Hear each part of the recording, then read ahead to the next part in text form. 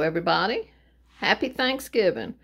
I'm going to do the little Grinch haul that I told you I was going to do. I need to go on and do this so that I can get these things put up in the decor.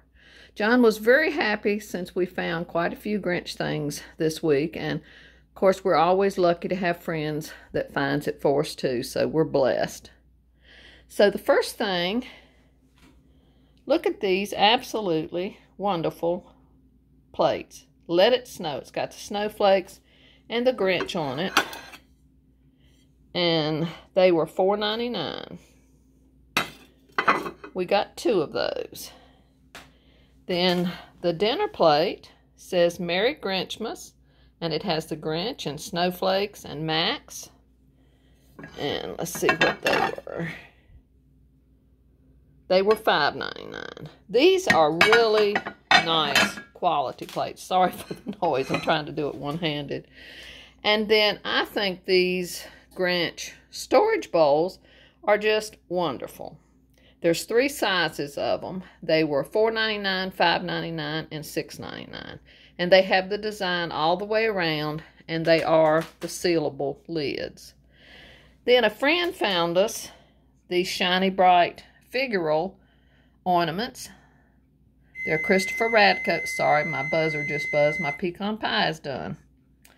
So those are just super cute. She found those at Ross. All the plates and the storage bowls, they were from Home Goods. And then got this adorable Grinch red mug with the cocoa bombs in it.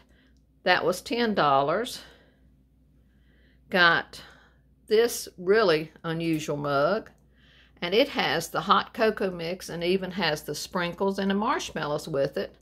And I believe that was $12.99 and then a green Grinch mug with the cocoa bomb in it. That was $9.99 then got this those were Marshalls.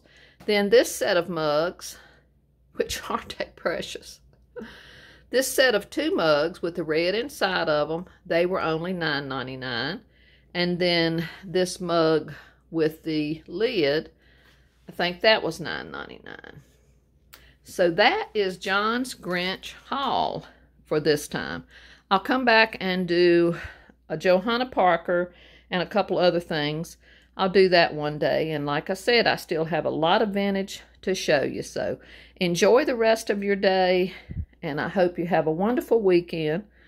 Love and blessings from me and John and baby boy. Till the next time, we'll see you soon. Bye-bye.